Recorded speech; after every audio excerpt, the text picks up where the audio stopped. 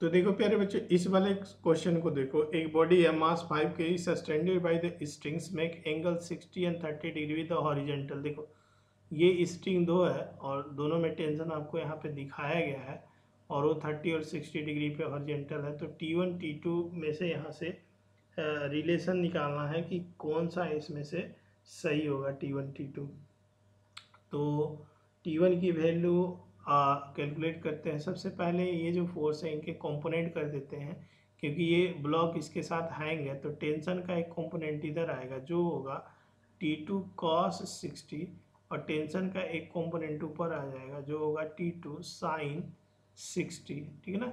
और दूसरा जो है, दूसरा जो ब्लॉक है, ये दूसरा जो स्ट्रिंग है, उसमें टेंशन इधर आएगा, जो होगा टी वन कॉस थर्टी और एक कंपोनेंट इसका ऊपर आएगा, जो होगा टी वन साइन थर्टी ठीक है ना? और यहाँ से जो वेट एम जी है, पचास न्यूटन, वो नीचे लगेगा, ठीक है? तो अगर आप इसमें देखोगे ये वाली चीज़ तो ये बेसिकली नेट समेसन ये जो टी वन कॉस थर्टी है, बराबर होगा टी टू कॉस थर्टी से। तो टी वन कॉस थर्टी बराबर होगा किसके? टी टू कॉस सिक्सटी के। तो T one cos thirty sine sixty root three by two और ये आ जाएगा टी टू और cos cos sixty one by two तो ये टू ने टू को ख़त्म कर दिया। तो टी वन अपन टी टू की जो वैल्यू आ जाएगी, वो रूट थ्री के बराबर आ जाएगी। मतलब ये आ जाएगा टी वन की जो वैल्यू मतलब ये कुल मिला के जो टी यहाँ तुम देखोगे तो जो टी टू की वैल्यू आ जाएगी यहाँ। क्या कर रहा हूँ यहाँ? ये, यहाँ जो टी टू की वैल्यू आ जाएगी root three times T one आ जाएगी। तो ये हमें यूज़ करना है आगे। ये टी वन टी टू में रिलेशन है। तो ऑब्वियसली तुम देखोगे यहाँ से तो अगर मैं टी वन देखो, अगर मैं डिवाइड कर दूँ टी वन टी टू से तो देखो मतलब फर्दर सॉल्व करने से अच्छा है डिवाइड करके देख लो।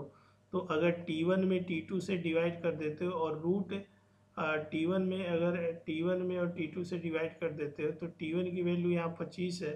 और टी टू की वैल्यू यहाँ ट्वेंटी फाइव रूट थ्री है तो वन बाई थ्री मिल जाता है।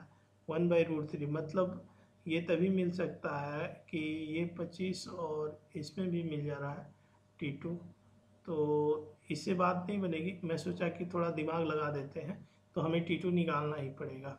इनकी वैल्यू निकालनी ही पड़ेगी। तो चलो एक काम करते हैं कैलकुलेट कर ही लेते हैं हम लोग का काम ही है कैलकुलेट करना। तो वर्टिकल में बैलेंस कर देते हैं तो टी टू साइन सिक्सटी ठीक है ना?